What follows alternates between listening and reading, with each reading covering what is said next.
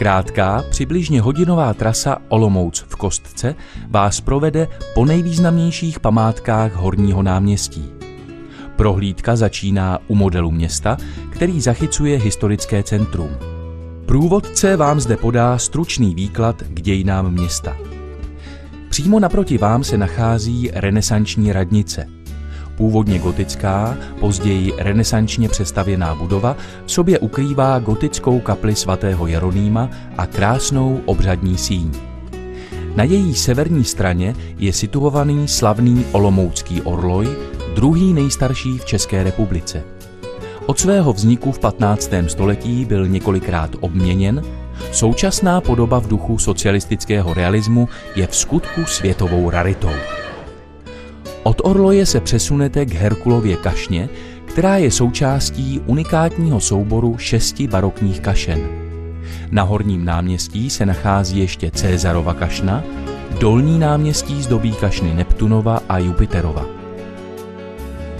V historickém jádru objevíte také Merkurovu kašnu a kašnu Tritonu.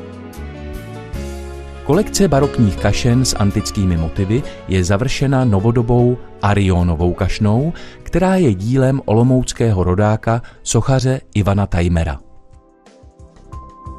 Historické náměstí zdobí mnoho významných paláců. Renesanční Edelmanův palác je nejzdobnějším z nich. Do hlavního průčelí byla zasazena pamětní deska polního maršála Radeckého, který zde pobýval. Celému náměstí dominuje sloup nejsvětější trojice, zapsaný roku 2000 na seznam UNESCO. 32 metrů vysoké barokní sousoší navrhl kameník Václav Render. Najdete zde rovněž Moravské divadlo Olomouc, které je domovskou scénou špičkových souborů opery a operety, činohry i baletu. Budova divadla sousedí s vyhlášenou Moravskou filharmonií Olomouc. Trasu můžete zakončit výstupem na radniční věž, kde se vám dostane přehledného výkladu k dalším olomouckým pamětihodnostem, zejména k řadě kostelů, kterých má Olomouc snad nejvíce v přepočtu na obyvatele. Nepřehlédnutelná je novogotická katedrála svatého Václava, stojící na místě původního Olomouckého hradu. V pozadí lze vidět první samostatný klášter na Moravě, klášterní hradisko, ve kterém dnes sídlí vojenská nemocnice či impozantní poutní chrám na svatém Kopečku, který byl roku 1995 povýšen papežem Janem Pavlem II. na baziliku Minor.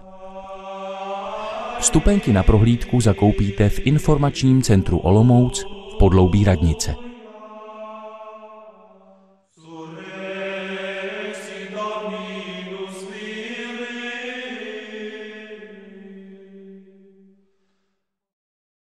Tento videospot je rovněž k dispozici po načtení příslušného QR kódu.